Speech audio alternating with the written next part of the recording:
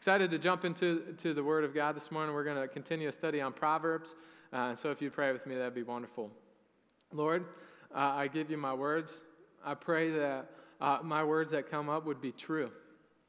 I pray that if there's anything in me that's not uh, from you, I pray that I would go away. I pray that, that you would be edified. I pray that, that as my words go forth, that they would not just go forth here, but they would go forth into the world and even uh, stir up heaven. And, and, we pray this in Jesus' name. Amen. I like to start uh, kind of with a big picture. It's kind of how, how I work because every sermon that I give, I love to have something that you can take home and actually go and do.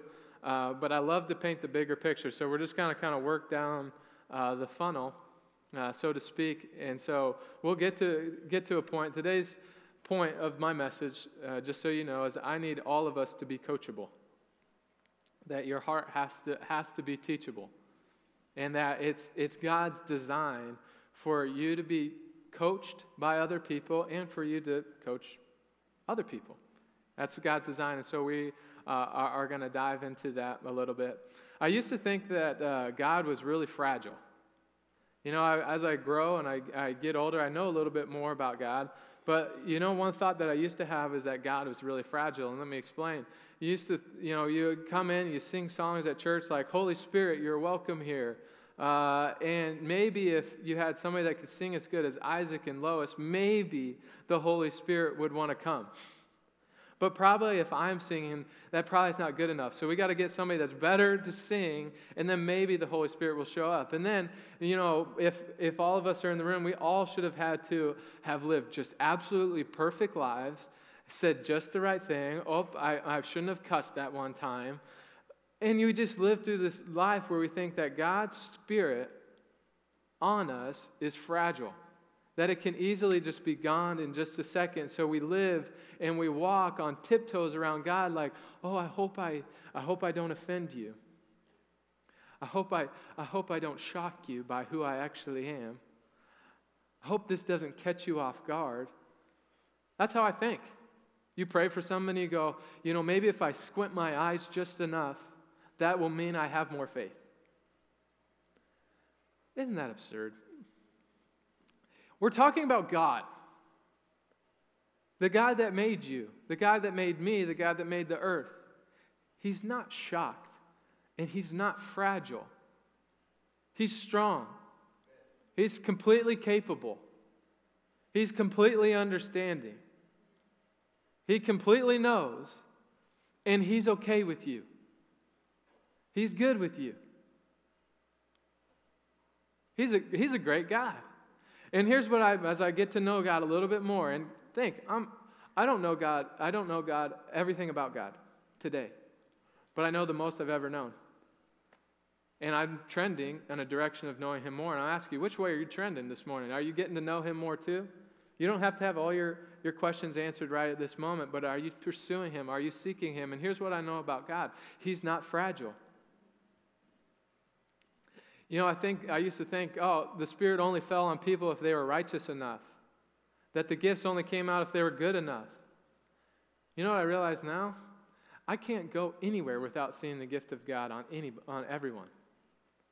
I don't care if you're a Christian. I don't care who, who you're serving. If you're serving yourself or you're serving another God, I can see the Spirit of God in you and what He made you to do. He's not fragile, He actually just made you. He made all of us, He made the world. And so, deep down in every single one of us, there is something that has been placed in there, and it's for God's glory. And we have a choice to either use that for Him or for our own profit. And so, you have a lot of people in the world, and you go, why is this famous person famous? Probably because of the gift of God. I look at a celebrity and go, man, they are gifted. Where did that gifting come from? Where did that voice come from?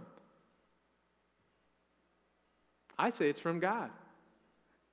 And some, at some point, I'm starting to go, man, I used to think God could only be worshiped in one moment. And now I'm going, man, he, if He's everywhere, I get to see Him and be thankful for Him in every single area of my life. I get to look at each and every one of you and go, there is something that's God given in your life that I don't have, that your neighbor doesn't have, but you have, and it's for a purpose. And when I see you, I think, I thank God for you. I start to love you more. And so instead of only a few people having the Spirit of God, He's actually showing me that everyone has the Spirit of God. God is on everyone. So, how do you balance? Because this is, I'll just be honest, when I look at everyone, though, I don't just see perfect godliness. Like you see the things inside of people that you go, man, that's from God. But then on the flip side, no matter how hard you try not to, you just see, but I also see the humanity. I also see the flaws in this person. And you go, I shouldn't, I shouldn't try to see the flaws. I, I know I should be better. I, want, I just want to look at the, the best in them. But man, it doesn't matter how, you, I could have the most anointed and wise person, and you're starting to see the humanity in them. You could have the person that you think is the furthest from God, and I'm starting to see the Spirit of God in them. And so within each and every one of us, you have some divine appointment, and you also have your carnal nature. And how do we balance, how do we balance them? Which one are you focusing more on? Well, the great thing is God has a plan for, for both of us. He has a plan for calling out the good in you, and there's also a plan uh, for being corrected. But to be the big picture, I like to start with the end in mind.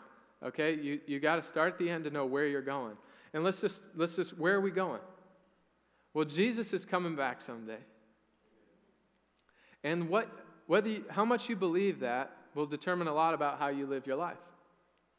Jesus is coming back. And this time he's coming back, his second time coming, he's not coming to die for you again because he already did that. And so if you live in full of shame, if you're feeling full of guilt, if you feel like you need a fresh start, well, He's already paved the way for you to have all of that. And so when He's coming the second time, He's not coming so you can be free from sin because He already did that. He's already paved a way for you to do that. And so why is He coming? He's coming back to love you, to love us. The, the most, the, the most uh, used picture of Jesus' second coming is a wedding. The terminology that he uses is bride and groom. We are the bride. The church collective is the bride. Jesus is the groom. And so when you go to a wedding, you're going there because there's love in the air. When Jesus comes back for a second coming, he's not coming to free you from your sins, he's coming to love you. And so, what is our response to that? If you really believe that, well, you do like every good person does when they're going to get married they get ready. You have to be ready. Are you preparing like you know that He's coming back? I don't know when He's coming back, I just know that He is. And so I can, I can bank everything on it. I have banked everything on it. I want to live my life and try to be better as good as I can be so that I can be ready for when Jesus comes back. I want to be ready. When Jesus comes back, he's coming back to love us. And here's the one view of God that I've, I've thought of him a lot, and I've prayed prayers like this where I go, God, uh, just tell me what to do and I'll do it. Anybody ever prayed a prayer like that? Oh, I'm, in a, I'm in a situation right now. God, if you could just tell me what to do right now, this would be really helpful. Man, even better, can you just give me a checklist? I know the Bible is your word, but it's not specific enough for me. And so, can you actually just tell me what to do and I will do it? He's coming back to love us, not control us. Because you can be in love with somebody or, or you can control them, but you cannot do both. If you are in control of somebody, your love can only go so far. Imagine, I, you know, I have a bride. Jesus coming back for us, his bride, and I love her, and I'm so thankful for her. And so imagine if I wake up every morning and I'm, I, rise and shine. Uh, hey, Rach, how's it going? That's not how it ever happens, but I'm like, oh, how's it going, Rach? You know, Rach, you are wonderful, but here's a list of things that I'd like you to fix today uh, about yourself. Uh, you could really do a better job. Uh, you know, I really haven't appreciated the way that you are, uh, and so I want you to I want you to be somebody different, uh, and, and then just accommodate. Thank you, and, and whatever. Have a good day. How's that going to go for me? Vice versa. How if she does the same and goes, uh, even maybe it's not that extreme. Maybe it's just uh, I don't like that about you. Well, I don't like that about you. That's more realistic. It, just throw little jabs here and there. Guess what happens? Over time, you guys are trying to control. Me and Rachel would be trying to control each other, and what we would lose is the intimacy. Because you can be intimate or you can be in control, but you cannot be both. And so, why is Jesus coming back? He's coming back for a bride that he wants to love. And so, isn't it, it, it can't be God's nature if love is not controlling, then he's not looking to just give you everything that you have to do. Because he would rather be in love with you than in control of you. And so our prayers aren't God's nature if we're going, oh, just tell me what to do and I'll do it. You know, I'm so faithful and I just want to do exactly what you do. I want to, I want to receive the complete blessing. And He's going, thank you. I, I, he probably appreciates it. It's the thought that counts, but He's trying to love us. And vice versa, He wants us to love Him back.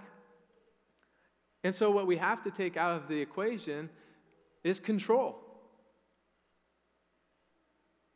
Maybe God's not actually trying to tell you everything that you're doing wrong. Maybe that's just a perceived thought in our head. Maybe we don't actually know God if we think that He's always mad at us, if He's always trying to change us. Maybe we should start being just okay and living, and we'll go, and we'll go from there. My, my grandpa, my mom's dad, uh, my grandma and grandpa have been married for like 60 years. And so you go to a wedding, like I have a lot of cousins, and we go to weddings, and uh, if you've been to a wedding, maybe there's been a generational dance where you bring all the couples onto the dance floor and they dance, and the DJ says, if you've been married for two hours, you have to leave the dance floor. Or if you've been married for five years, and so on until you find who's been married the longest. And so my grandma and grandpa are almost always the people that have been married the longest. And so the DJ will say, Do you have any wise words for the newlywed couple? And now I start to laugh because I know exactly what my grandpa's going to say. He said it every wedding, uh, and he will say it until he dies. And so, and I've appreciated about that. And so he will always grab the microphone, he will look at the groom, and he goes, Listen, I got two words for you. Two words that will help you in your life, help you to make it to 60 years. You want to know what they are? Yes, dear and everyone chuckles like that at the wedding where they go, haha, that's nice. Happy wife, happy life. Okay, okay. I think he's smart. I used to think it was kind of cheesy, but I think he might be onto something because it seems like he would rather be in love with my grandma than in control of her. And so you could say, oh, you're just a pushover, you're just doing whatever. No, he's actually choosing to be in love rather than just pointing out all the flaws. Because we all have flaws. Is there anybody in here that does not have a flaw? Because you should come and preach. Well, I'd love to know. But we all have the flaws. And so if we're supposed to love people, maybe we should choose to love them rather than be in control. And the, and the person who's doing it the most is Jesus Christ towards us. He's not always just looking to tell you what to fix. So it could be a good thing if you come to church and you walk out and you go, man, I don't really even know what I learned, but I just love Jesus. That's probably where we should all be. Oh, I walk out of here, man, I love Jesus. Man, it was great to worship him. I don't really remember what Caleb said, but man, I'm encouraged. Fantastic. He's not always trying to take a, a, a knife out to do surgery. And so, if our correction, because I've, I've said this, where I say to uh, myself, I go, you know, if there's anything in me that God wants to correct, He'll tell me. Or I'll look at other people and I go, well, I see that kind of flaw, but maybe God's okay with it because, well, He hasn't said anything to them, and so I guess I shouldn't be judgmental. And so I, I, I kind of put the blame on God and the effort on God to make the world what it should be when in reality, He has given us the choice. And so we're, I'm surrendering the very thing that God is actually putting on us. Here's what Jesus says. Let's open your Bible if you have it, it'll be on the screen too, to uh, Matthew 7. Because everyone has the Spirit of God in them and everyone has flaws. So, what do we do? How do we balance that? And this is what Jesus says. 7, Matthew 7 3. Why do you look at the speck of sawdust in your brother's eye and pay no attention to the plank in your own eye? How can you say to your brother, Let me take the speck out of your eye, when all the time there is a plank in your own eye? You hypocrite. First take the plank out of your own eye, and then you will see clearly to remove the speck from your brother's eye. I'm sure people have heard this. In fact, you may have even used it if somebody says something to you and you go, Take the plank out of your own eye. Look who's talking. Shuts people up pretty, cra- uh, pretty fast. When you go, Hey, look at you. You're no better. And that's how I've sometimes read this is go, oh, I'm a hypocrite. No one wants to be a hypocrite. And so how dare I judge somebody else for their for their actions? I better just not say anything. What does Jesus actually say? Let's look at the actual truth of what Jesus says. What's true? Is there a plank in your eye? Yes, there is. Is there a piece of sawdust in your brother's eye or your friend's eye? Yes. Should either of them be there? No. When I read the words, you hypocrite, what I've done, I have done this, is I go, I stop there and go, I guess I better not say anything. I guess I better not do anything. What does Jesus actually say? You hypocrite, that's where I stop, and just go, I guess I better not say anything. There's what he actually instructs us. First, take the plank out of your own eye, and then you will see clearly to remove the speck from your brother's eye. Who removes the speck? And who removes the plank? You do. We do. I've said things like this I better take the plank out of my own eye, and you know what? Jesus is going to take care of them.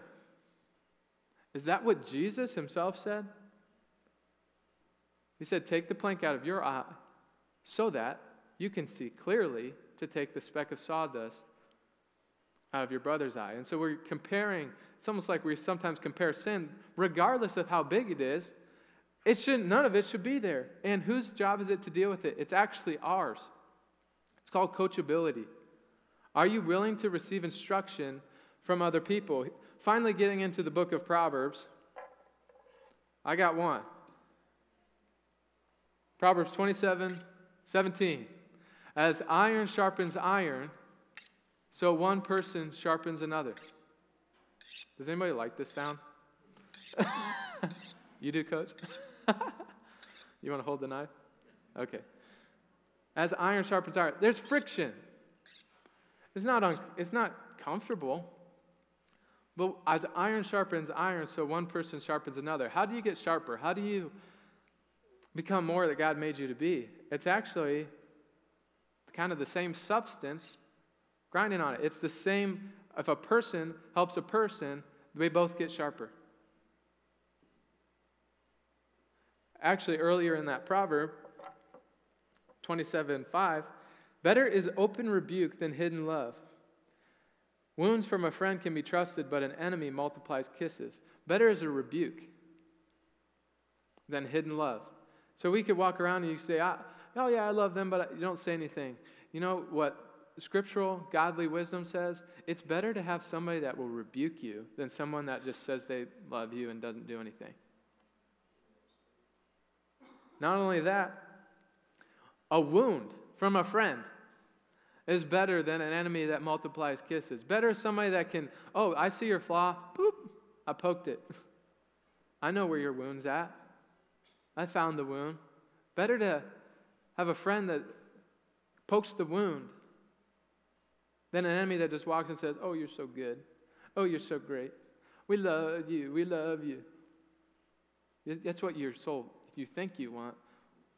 But what you really need is somebody that's willing to get in there and go, Hey, this is where we're at. Because we're supposed to be ready. Jesus is coming back. Big picture, Jesus is coming back. We got to be ready. How do you get ready? We help each other get ready. Who is speaking into your life? Who are you speaking into? You might say you have a group of friends. Are you guys actually able to say what you say behind their back in front of them? That's what you need. You're able to get, give the truth in love.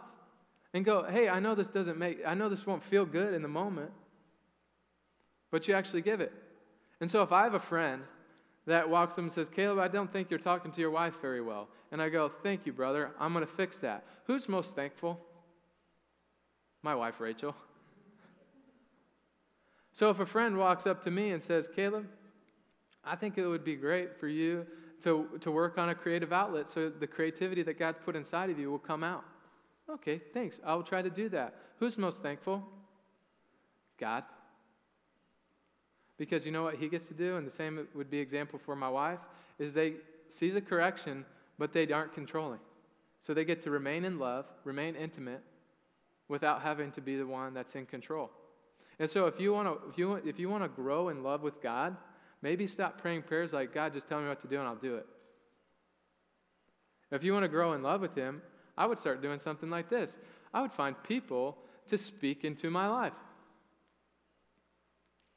Here's what's happened. This, hap- this is what God's teaching me, so I'm, I'm going through this just as much. Uh, I go, God, th- this is a big picture. Two years ago, you know, Pastor Fred preached on the fear of the Lord two weeks ago. Fear of the Lord is the beginning of wisdom. And so I, I want to be more afraid of not being with God than it is to, to be with Him. I want, I want to. Uh, I want to fear what he says, so that way I live the way he wants me to live. I don't want to be away from him. And so I prayed a prayer like this Holy Spirit, would you teach me how to make Jesus the Lord of my life?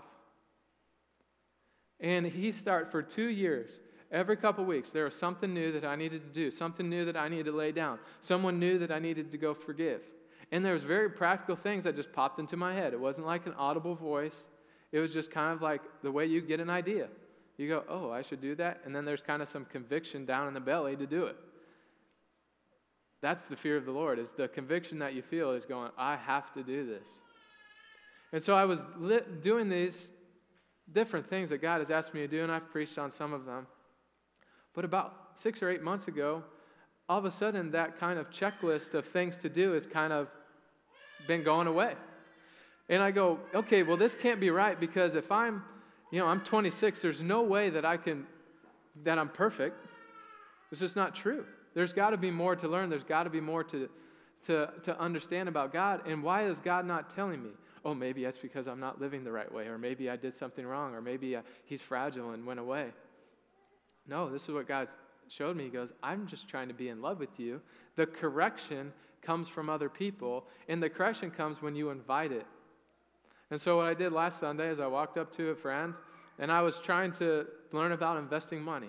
And so, I had kind of some thoughts that were going around. I was doing some research, and I was like, you know, I just, I need a coach. And so, I found somebody that was smarter than I am, knows more than I do. And I walked up to him and I said, hey, I've had this idea and this idea. Can you help me hash it out? And he goes, Great, we're going to need more time. So he invites me over to his house on Tuesday, and we spend hours together just talking together. It was so refreshing for me. And I'm going, Should I do this or this? And he's like, You should do this. And I was like, Oh my gosh. It was, it felt like God was speaking straight through him. And he would probably never say, Oh, yeah, God just talks through me all the time. But that's what was happening. God was, it was like his words coming out were just exactly what I needed to, needed to hear. Now, could have God told me that? Sure. Sure, he could have. But here's why he did it A, he'd rather be in love with you than in control. And guess what else happened? Well, me and this guy are now a little bit closer friends. We have something else to talk about, something more to bond over. We trust each other just a little bit more. I got the good, I got the good advice. I went home. It's like 11:30 at night. I'm usually absolutely passed out by then. It's way past my bedtime. And I'm wide awake, wired, because God's Spirit is just so alive in me and He's speaking even more. It's kind of like if you were going to hear a, a sermon or you went somewhere with your wife or your husband, and on the way home, it starts a whole new conversation. It goes to a whole new level. It's kind of what happened with me and God. So here's what happened I humbled myself, walked up to somebody, and said, Coach me. Now I have a friend who I'm a little bit closer to, and God is talking to me more. It sounds a lot like when Jesus said, The first commandment you should do is love the Lord your God with all your heart, with all your soul, with all your mind, all your strength. And the second is love your neighbor as yourself. Why does God want our correction to come through each other? Probably because it makes you love Him more and it makes you love each other more. It's kind of His plan. And so I just want to invite you today, in view that Jesus is coming back, and for us to be ready, if you really want to be ready, you should be coachable.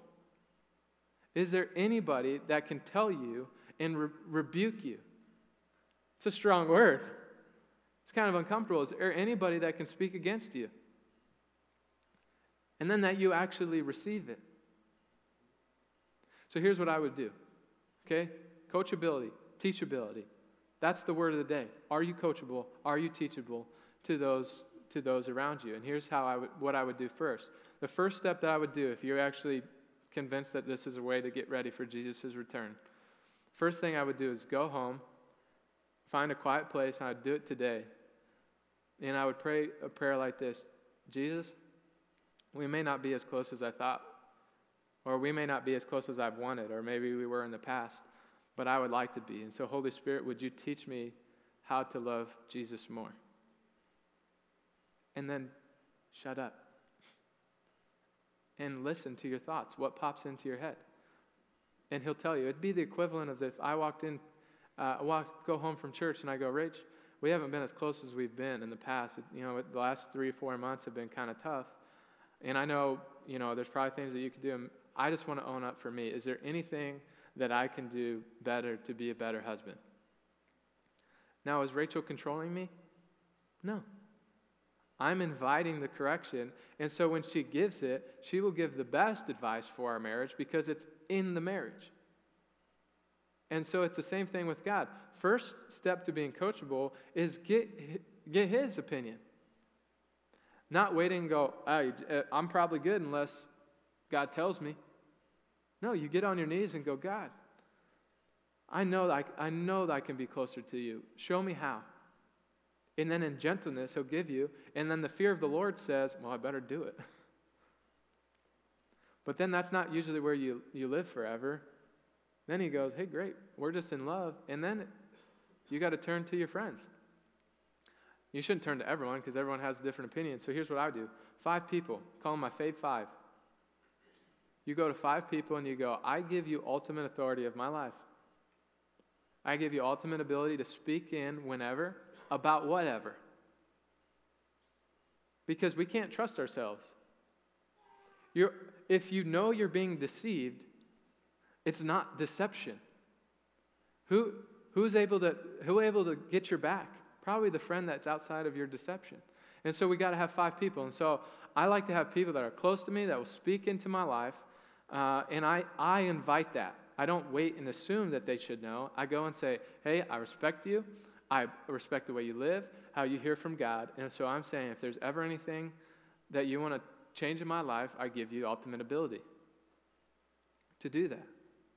And then you do it. If you give away the authority, you can't then go, Well, I didn't like what you said there. You have to actually then follow through and do it. And so, is there anybody that comes to mind? If you go, I don't really have one, don't go ahead and pick five. Pick one first. They've got to be trusted people. You shouldn't just put anybody on the list, but you should have a list. And then lastly, uh, are you bold enough to speak into somebody else's life? You go, I don't want to step on anybody's toes. Well, you can either step on their toes or they can just keep walking and die. Which is more painful? I'll say that bluntly, but we're so afraid to step on people's toes and go, I don't want to over, overstep boundaries. Well, they're walking in a bad direction that will cause a lot more pain than stepping on toes. Now, can you just go stepping on anybody's toes? No, I call it a trust bank.